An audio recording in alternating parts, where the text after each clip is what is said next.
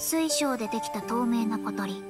綺麗で儚く心を動かす歌を歌う。しかし凡人たちにはそれが見えず欺瞞だと思った。この世に透明な鳥などいるはずがない。歌など歌えるものか。鳥はそれを聞くと翼をはためかせた。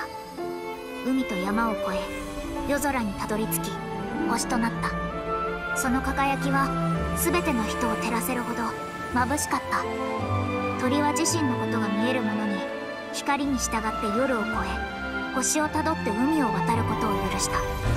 英知に生まれ愚昧にとらわれる。鳥は一度も不満を言わなかった。それが自身の運命だから。そして人々に運命を見せるよう導くことこそ鳥の意義なのだ。